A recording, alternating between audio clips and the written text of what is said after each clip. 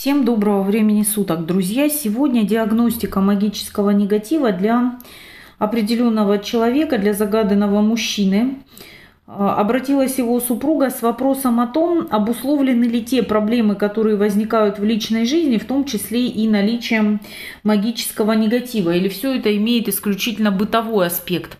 Но здесь надо сказать, что диагностика магического негатива в любом случае, хоть она касается личных отношений, хоть она касается работы финансов, она делается всегда на все одновременно. То есть это комплексная диагностика.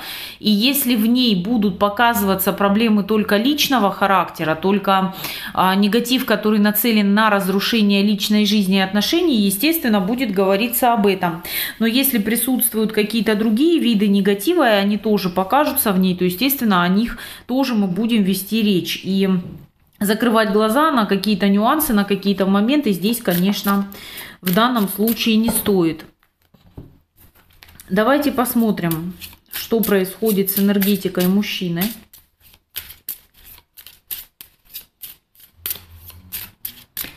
Присутствует ли на загаданном человеке магический негатив? Ну, карты поняли, что смотрим мужчину. А здесь специфическая карта у нас закрывает колоду, которая, с одной стороны, может говорить о том, что а, присутствует защита, если устанавливалась защита, либо э, о том, что присутствует замок на работе, если здесь есть магический негатив. Но это мы узнаем уже, когда, соответственно, откроем а, арканы, и когда мы все карты вскроем, тогда нам будет понятно, о чем говорили изначально. Да, вот здесь вот перевернутые карты. Опять у нас идет карта, которая говорит о том, что могут быть замки, которые связаны с магией. Сейчас мы посмотрим. Но вообще магическое воздействие есть. Смотрите, причем оно может быть параллельным. Оно может, с одной стороны, говорить о том, что здесь пытались ставить защиту, но защита не легла по каким-то причинам. Она просто не получилась. Не удалось ее поставить так, как надо поставить. Или, может быть, это были просто э, какие-то ваши молитвы, просьбы о том, чтобы человек был защищен. Этого не последовало. То есть сама защита на человека, если ее и хотели поставить, она не легла. Если планирование именно установки защиты на человека не было, то тогда мы здесь видим два замка, которые связаны с закреплением порчи, с закреплением магии, которая существует на человеке. Что у нас по поводу негатива э, можно сказать? Ну, здесь, во-первых, присутствует магическое воздействие, которое касается благо, скажем так, я пытаюсь сейчас сформулировать, чтобы это было а, культурно, да, чтобы это культурно а, звучало, но не получается. Поэтому здесь можно говорить о том, что здесь сделан егельер на то, чтобы у мужчины, грубо говоря, не возникало сексуального желания в направлении определенной женщине. То есть это завязка члена, это так называемая, простите за выражение, нестоячка. И если даже она не действует сейчас в полном своем объеме, то в течение где-то 12-15 месяцев она будет наращивать вот эти обороты. И э, здесь помимо всего прочего, э, влияет на психику мужчины. То есть вот здесь такая ситуация, когда э, у мужчины не только на магическом уровне да, какие-то проблемы, но и на бытовом. Но те проблемы, которые на магическом уровне, они убеждают его в серьезности проблем на уровне бытовом и заставляют к вам относиться более холодно, более прохладно. Заказчиком является женщина, женщина, у которой есть дети. Причем она, знаете, она выходит в такую вот ипостаси матери, как будто бы. То есть это может быть либо его мать, либо это может быть женщина, которая является матерью. И скорее всего здесь не один ребенок. То есть здесь подтверждает один расклад, подтверждает другой расклад в данной ситуации. Она защищает очень рьяно свою позицию и намерена забрать то, чего она хочет. Если это проблемы со свекровью и с матерью, то это попытка забрать своего сына, да, вот к себе обратно. Если это другая женщина, то это попытка притащить что-то к себе в гнездо и заставить мужчину отвернуться от вас в данном случае. Мы здесь видим ритуалы, которые связаны с опаиванием, то есть здесь был физический контакт, когда человеку давали что-то пить или есть. Это присутствовало, плюс могли передаваться некие презенты а, домой. Женщина может быть очень правильной такой, вот знаете, по своему поведению, возможно, огненного знака зодиака. Львицы часто выходят вот таким образом, но это может быть просто показатель характера, который э, похож на вот такой вот львиный да, характер, львиную манеру поведения. То есть, когда мы видим а, даже отсылки к знакам зодиака, я всегда говорю, что не цепляйтесь за стихи, а цепляйтесь за характер, за то, как карты характеризуют человека, это вам скажет гораздо больше. Да, мы видим, что здесь э, женщина, причем у этой женщины есть свой мужчина, у нее есть какие-то отношения. Она, я бы не сказала, что одинока, но при этом она желает, чтобы у вашего мужчины не было возможности именно сближаться вами физически, физиологически.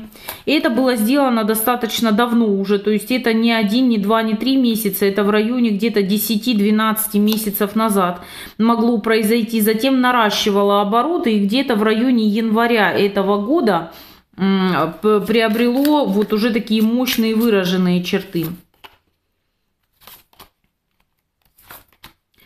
У женщины почему-то связано вот этот ритуал, помимо всего прочего, да, помимо того, что здесь на физиологическом уровне не дается мужчине совершать ну, выразимся своими словами, все назовем, в, в, не, нет возможности совершать и нет желания совершать половые акты, например, то есть охлаждение в этом смысле может быть достаточно жестким, но здесь есть еще и какая-то постоянная линия финансовая, то есть вопрос стоит в деньгах, и вот эта женщина считает, что ей должны принадлежать те деньги, она хочет взять то, что она хочет взять. Я не скажу, что здесь обусловлено любовью, то, что она делает. Здесь обусловлено тем, что она хочет самоутвердиться, она хочет доказать, что она имеет право брать все, что ей нравится, брать все, что она хочет. И это может выражаться вполне в таком вот ярком поведении с ее стороны. Она вообще, знаете, такое ощущение непогрешима, как жена Цезаря просто. Посмотришь на нее и никогда не скажешь, что она может делать подобного рода вещи.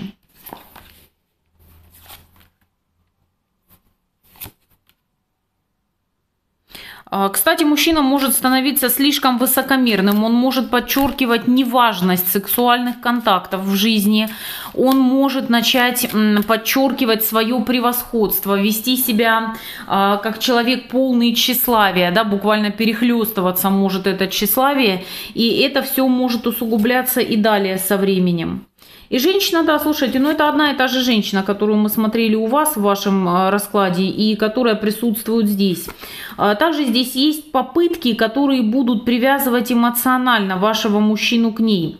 Почему-то мне не хочется сказать, что это именно приворот, потому что здесь скорее вот это привлечение, это как разрешение определенного ее внутреннего конфликта, который произошел в прошлом. И этот конфликт, помимо всего прочего, связан с кем-то младшим, с какими-то с каким-то или ребенком, или младшим родственником. И здесь вот она выступает как та, которая привлекает к себе все, что ей не додали в свое время ну, постоянно выходит. Вот знака земли или огня похожа на львицу по характеру, да, по знаку зодиака. И она давно выжидает, чтобы забрать свое, как она считает, забрать то, что принадлежит ей. Проблема в прошлом, проблема не в настоящем. Если вы знаете, о ком идет речь, то, конечно, было бы неплохо сделать расклад на отношения этой дамы с вашим супругом на бытовом уровне. Но здесь мы видим, что присутствует именно попытка привлечения привязки к себе человека, плюс, э, скажем так, тот самый егельер, завязка члена, так называемая. Это просто для того, чтобы вам было понятно. На физическом уровне может выражаться в не очень хорошем состоянии здоровья. То есть помимо того, что прямое влияние есть, которое обусловлено да, тем, что мы видим, плюс ко всему это кладбищенская завязка, которая ну, обычно делается по общепринятым нормам с помощью воды и водки и всего того, что связано с э, продуктами, которые в данном случае относятся на кладбище. Нехорошая вещь, можно сказать сразу, и Конечно, это надо снимать, но прежде чем снимать основную порчу, здесь у нас два замка присутствуют. И на одном негативе и на другом нужно снимать сперва замки, это первый пункт, потом чистить человека, потом устанавливать защиту. В таком состоянии защиту сразу ставить нельзя, потому что а, если поставить защиту, то она закроет порчу, и порчу потом содрать будет невозможно. Для этого надо будет потом снять защиту, потом снять порчу, потом опять поставить защиту сверху и так далее. Поэтому порядок действий оптимально такой. Снятие замков, чистка человека, потом установка защиты. Что дает чистка? А, чистка это не приворот, это наоборот снятие всех негативных программ, потому что иногда дамы приходят и говорят, ну вот если мы сейчас его почистим, у него же должно прям вот на меня постоянно быть возбуждение, он должен быть просто вот моим, он должен за мной как хвостик ходить и так далее.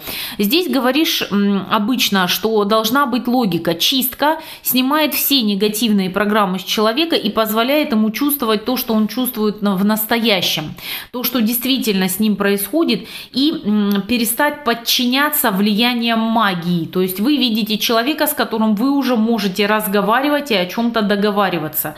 Человека, который смотрит на мир своими глазами, а не через призму магии.